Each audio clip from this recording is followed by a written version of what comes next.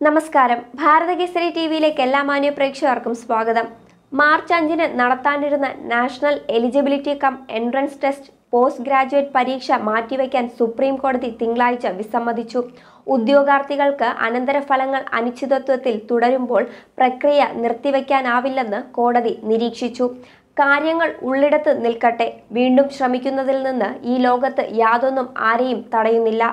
അതൊരു പരിണാമ പ്രക്രിയയാണ്. ചിലപ്പോൾ അത് തെറ്റായി പോകാം.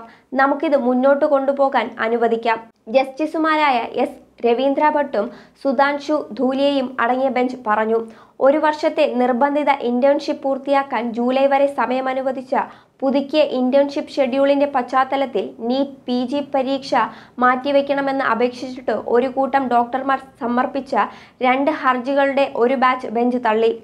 കൗൺസിലിംഗ് ഓഗസ്റ്റിൽ മാത്രമേ നടക്കൂ. എന്നതിനാൽ അപേക്ഷകർക്ക് തയ്യാറെടുക്കാൻ കൂടുതൽ സമയം നൽകുന്നതിന് നീറ്റ് പി ജി പരീക്ഷ ആറാഴ്ച കൂടി മാറ്റിവെക്കണമെന്നാണ് ഡോക്ടർമാരുടെ അഭിപ്രായം.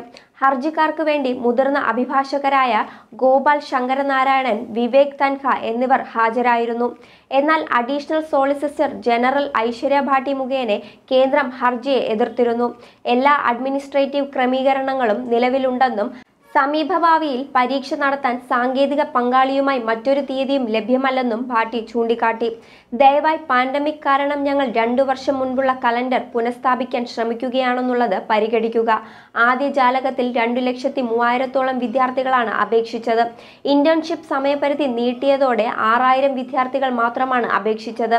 അതിനാൽ മാറ്റിവെക്കണമെന്ന ആവശ്യം ഒരു ചെറിയ ന്യൂനപക്ഷമാണ്. അതേസമയം വലിയ ഭൂരിപക്ഷം പരീക്ഷ എഴുതാൻ തയ്യാറാണ്. അവർ കൂട്ടിച്ചേർത്തു. ഓഗസ്റ്റ് തീയതിക്ക് കാത്തു നിൽക്കാതെ ജൂലൈ പതിനഞ്ച് മുതൽ കൗൺസിലിംഗ് ആരംഭിക്കാൻ സാധ്യതയുണ്ടെന്ന് ഭാട്യ ബെഞ്ചിനെ അറിയിച്ചു. ബാക്കിയുള്ളവരെ താൽക്കാലികമായി പങ്കെടുക്കാൻ അനുവദിക്കുകയും ഓരോ കേസിന്റെ അടിസ്ഥാനത്തിൽ പരിഗണിക്കുകയും ചെയ്യുമെന്ന് അവർ പറഞ്ഞു. സബ്മിഷനുകളിൽ തൃപ്തരായ ബെഞ്ച് നിലവിലെ ഷെഡ്യൂൾ അതേപടി നിലനിർത്തി ഹർജികൾ തള്ളാൻ തീരുമാനിച്ചു. നന്ദി നമസ്കാരം.